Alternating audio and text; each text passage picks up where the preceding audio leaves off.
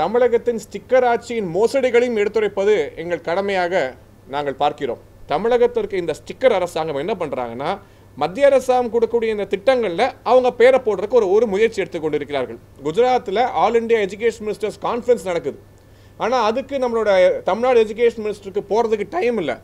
அதை விட்டு விட்டு அவர் சொந்த ஊரில் உட்காந்து தீர்மானம் நிறைவேற்றுறாங்க. பட்டத்து இளவரசர் திரு. உதயநிதியை மினிஸ்டர் ஆக்க வேண்டும் என்று. இந்த விடியா அரசின் ஒவ்வொரு மோசடியும் மக்களுக்கு வெளிச்சம் போட்டும் ச- வெளிச்சம் போட்டு காட்டும் சக்தியாக பாஜக இருக்கும். அனைத்து ஊடக சகோதரர்களுக்கும் சகோதரிகளுக்கும் வணக்கம்.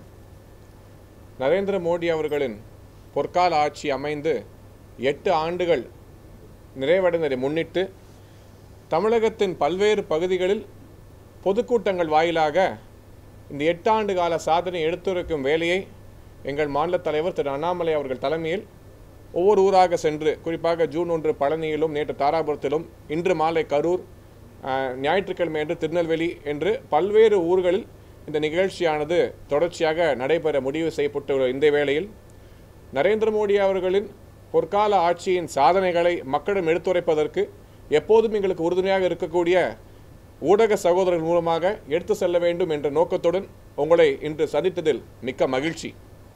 இந்த எட்டாண்டு கால மோடி அரசின் சாதனை சாதனைகளை விளக்கும் இந்த வேளையில் தமிழகத்தின் ஸ்டிக்கர் ஆட்சியின் மோசடிகளையும் எடுத்துரைப்பது எங்கள் கடமையாக நாங்கள் பார்க்கிறோம். குறிப்பாக பார்த்தீங்கன்னா இந்த எட்டாண்டு காலத்தில் இந்திய மக்களோட வாழ்வாதாரம் என்பது பல்மடங்கு உயர்ந்துள்ளது. குறிப்பாக பணக்காரங்களுக்கு மட்டுமே கிடைக்கக்கூடிய பல்வேறு விஷயங்கள் இன்று ஏழைகளுக்கும் கிடைக்கக்கூடிய ஒரு சூழ்நிலை இந்தியாவில் ஏற்பட்டுள்ளது. அது எப்படி நாங்கள் வந்து இதை சொல்ல வரோம் என்றால் ஆவாஸ் யோஜனா திட்டத்தின் மூலமாக கிட்டத்தட்ட இரண்டு கோடி நாற்பது லட்சம் வீடுகள் இன்று வீடில்லாத ஏழைகளுக்கு கட்டித்தரப்பட்டுள்ளது. நாடு முழுவதிலும் பத்து கோடி கழிப்பறைகள். இந்தியாவில் வந்து வெளிநாட்டில் வந்து படம் கார்ட்டூன் படம் வரைஞ்சாலே இந்த ரோட்டில் பாத்ரூம் போகிறத தான் கிண்டல் பண்ணி எழுதுவாங்க. அந்த நிலைமை மாறுவதற்கு குறிப்பாக பெண்களுக்கெல்லாம் ஒரு பெரிய சிரமமாக இருந்த சூழ்நிலை மாறி இன்று பத்து கோடி கழிப்பறைகளை நாடு முழுவதிலும் நரேந்திர மோடியின் ஆட்சி காலத்தில் கட்டப்பட்டுள்ளது.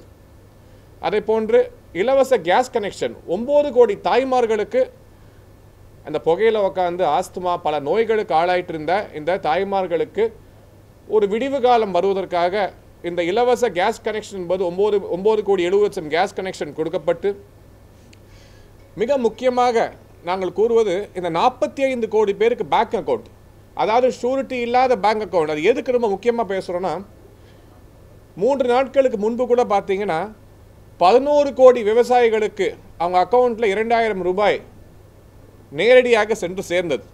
முன்பெல்லாம் பார்த்தீங்கன்னா இந்த கவர்மெண்ட் தரக்கூடிய இந்த நிதியை பெற வேண்டும் என்றால் நீங்கள் ரேஷன் கடையில் போய் லைனில் நின்று க்யூவில் நின்று ஆதாரத்தை கொடுத்து அது மட்டும் இல்லாமல் அந்த லோக்கல் மாநிலத்தில் இருக்கக்கூடிய மாவட்ட செயலாளர்கிட்ட அந்த கிளை செயலாளர்கிட்ட ஒவ்வொருத்தன்ட்டையும் கப்பங்கட்டி தான் இந்த பணத்தை பெற முடியும். ஆனால் நரேந்திர மோடி ஆட்சி காலத்தில் ஒரே பட்டனை அவர் டெல்லியில் இருந்து அமர்த்தினால் இந்தியா முழுவதும் உள்ள பதினோரு கோடி விவசாயிகளுக்கு நேரடியாக அவங்க அக்கௌண்ட்டில் ரெண்டாயிரம் ரூபாய் செல்லும் அளவுக்கு இந்த நாற்பத்தி ஐந்து கோடி அக்கௌண்ட் ஆரம்பித்ததன் பலனை மக்கள் அனுபவித்துக் கொண்டு வருகிறார்கள்.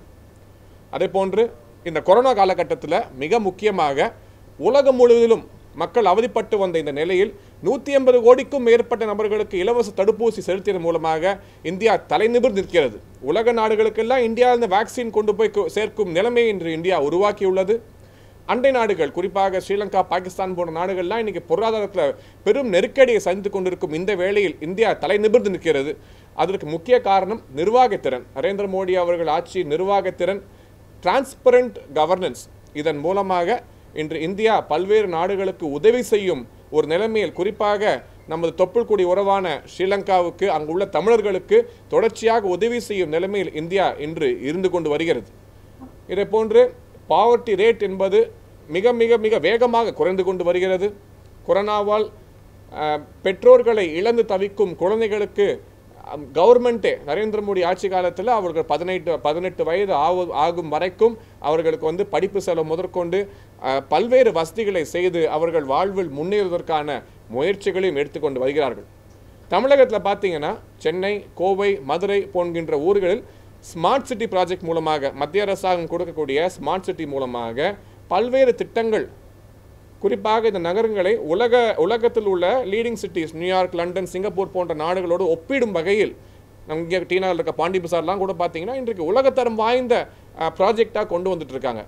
ஆனால் தமிழகத்திற்கு இந்த ஸ்டிக்கர் அரசாங்கம் என்ன பண்ணுறாங்கன்னா மத்திய அரசாங்கம் கொடுக்கக்கூடிய இந்த திட்டங்களில் அவங்க பேரை போடுறதுக்கு ஒரு ஒரு முயற்சி எடுத்துக்கொண்டு இருக்கிறார்கள் ஒரு உதாரணம் சொல்ல வேண்டும் என்றால் திருப்பூர் இருக்க பழைய பேருந்து நிலையத்தை முப்பத்தி ஆறு கோடி ரூபாய் செலவில் மத்திய அரசாங்கம் கொடுக்கக்கூடிய இந்த ஸ்மார்ட் சிட்டி ஃபண்ட் மூலமாக இன்னைக்கு அதை வந்து சேஞ்ச் பண்ணி இன்றைக்கி பல்வேறு விஷயங்களை மாற்றி அமைத்து கொண்டு வருகிறார்கள்.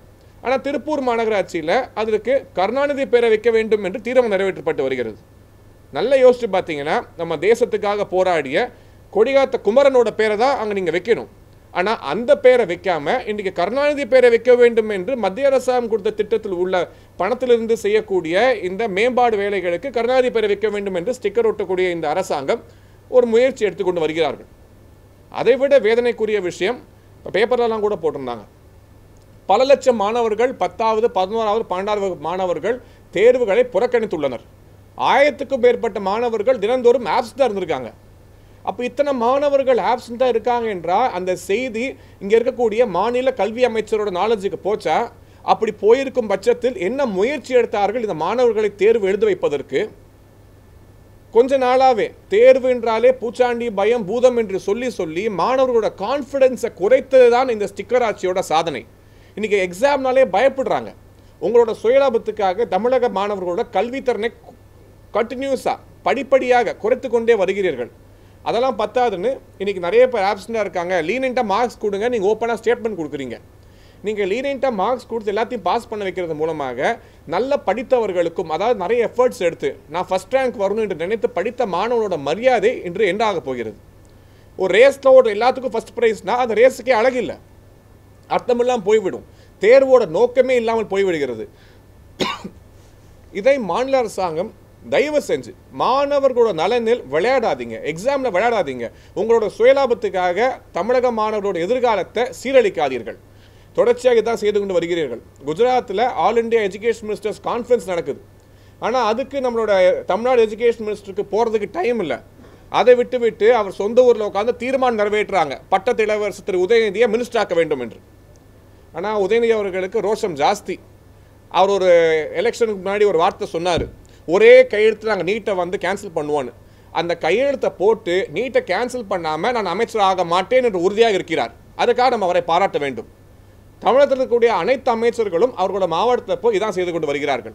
அமைச்சருக்கான வேலையை செய்யாமல் ஊரில் உட்கார்ந்து தீர்மானம் போட்டு பட்டத்து இளவரசரை அமைச்சராக்க வேண்டும் அமைச்சராக்க வேண்டும் என்று தான் கூறுகிறார்கள். தயவு செய்து உங்கள் துறை சார்ந்த விஷயங்களில் நீங்கள் கவனம் செலுத்த ஆரம்பிக்க வேண்டும்.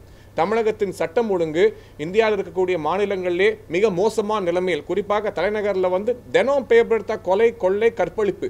இதான் பேப்பரில் பார்க்கக்கூடிய ஒரு அவலநிலை தமிழகத்தில் ஏற்பு ஏற்படுத்தி கொண்டு வருகிறது. இதற்கு உடனடியாக உடனடியாக கவனம் செலுத்த வேண்டும். இன்று தமிழகத்தை பொறுத்தவரையில் பாஜக உண்மையான எதிர்க்கட்சியாக களத்தில் ஸ்டிக்கர் அரசாங்கத்தின் தவறுகளை சுட்டிக்காட்டு சுட்டிக்காட்டி அதற்கு வெளிச்சம் போடும் ஒரே எதிர்க்கட்சியாக செயல்பட்டு கொண்டு வருகிறது. திரு அண்ணாமலை அவர்கள் எல்லாத்தையும் ஆதரவோடு மக்கள் முன்னிலையில் ஊடகங்கள் மூலமாக வெளியிட்டு கொண்டு வருகிறார்கள். இதனால் கட்சி சாயம் இல்லாத இளைஞர்கள் பொதுமக்கள் மத்தியில் பாஜகவின் செல்வாக்கு தினந்தோறும் உயர்ந்து கொண்டே வருகிறது. இதை பார்த்து பல கட்சிகளும் அஞ்சும் நிலைமை தமிழகத்தில் இருந்து கொண்டு வருகிறது. முன்பெல்லாம் தமிழகத்தில் தாமரை மலராது நாங்கள் பிஜேபி பற்றி பேச மாட்டோம் என்று சொல்லிக் இந்த நிலைமை மாறி இன்று முதல்வர் கூட தஞ்சா டெல்டா டிஸ்ட்ரிக்டில் வந்து சுற்றுப்பயணத்தில் இருக்கும்போது பிஜேபி பற்றியும் திரு அண்ணாமலையை பற்றியும் பேச வைக்கும் அளவுக்கு தமிழகத்தின் பாஜகவின் வளர்ச்சி இருந்து கொண்டு வருகிறது. நரேந்திர மோடி அவர்கள் ஆட்சி காலத்தில் தமிழகத்தோட ஹைவேஸின் திறன் மிக மிக வேகமாக எப்போதும் இல்லாத அளவுக்கு மூன்று மடங்கு அதிகமாக ரோட்ஸ் வந்து அஹ், போட்டுட்டு இருக்காங்க புதிய ரோடுகள் வந்து குறிப்பாக இப்போ பிரதமர் வந்தபோது கூட பார்த்தீங்கன்னா முப்பதாயிரம் கோடிக்கு மேலே திட்டங்களை தமிழகத்துக்கு வாரி வழங்க சென்றிருக்கிறார்கள். இந்த நோடல் ப்ராஜெக்ட் திருப்பூர் சாரி திருவள்ளூரில் வந்து ட்ரை டாக்கிங் பண்ணுறதுக்கு வந்து ப்ராஜெக்ட் வந்திருக்கு. சென்னை பெங்களூருக்கு வந்து ஒரு புது ஹைவே கனெக்ட் பண்ணுறாங்க இரநூத்தி அறுபது கிலோமீட்டரில் வந்து மூன்று மணி நேரத்தில் செல்லும் அளவுக்கு ஒரு புது ஹைவே கனெக்ட் பண்ணுறாங்க மதுரவாயிலேருந்து போர்ட்டுக்கு ஐயாயிரம் கோடிக்கு மேல் செலவு பண்ணி டபுள் டெக்கர் பிரிட்ஜ் கட்டுறாங்க. பல்வேறு நலத்திட்டங்கள் குறிப்பாக ஹைவே சம்மந்தமாகட்டும் கோல் சம்மந்தமாகட்டும் எல்லா விஷயங்களிலுமே விவசாயிகளோட வருமானத்தை ஈட்டும் அதிகப்படுத்தும் விஷயமாகட்டும் எல்லாவற்றிலும் நரேந்திர மோடி அவர்களின் அரசாங்கம் அதிகப்படியான கவனம் செலுத்தி குறிப்பாக தமிழகத்தின் வளர்ச்சிக்கு அதிகப்படியான நிதியும் அளித்து இன்று ஜிஎஸ்டி ரெவன்யூ என்பது ஆண்டுதோறும் ஏறிக்கொண்டே போகிறது. ஆனால் என்ன ஒரு வருத்தப்படக்கூடிய விஷயம் என்றால் இந்த குரோத் என்பது உத்தரப்பிரதேஷ் குஜராத் கர்நாடகா போன்ற மாநிலங்களில் தமிழகத்தை விட இன்னும் பல மடங்கு அதிகமாக இருக்கிறது. ஆகவே இங்கே இருக்கக்கூடிய இந்த திராவிட முன்னேற்ற கழக ஆட்சியில் இண்டஸ்ட்ரியலைசேஷனுக்கோ புது பிஸ்னஸை கொண்டு வரதுக்கோ கம்பெனிஸ் எடுத்து வரதுக்கோ எந்த விதமான முயற்சியும் எடுக்கவில்லை. அதற்கு உங்களோட கரப்ஷன் கலெக்ஷன் கமிஷன் என்கின்ற கான்செப்ட் எந்த ஒரு கம்பெனியும் தமிழ்நாட்டுக்கு வரதுக்கு தயாராக இல்லை. இதையும் மாற்றிக்கொள்ள வேண்டும்.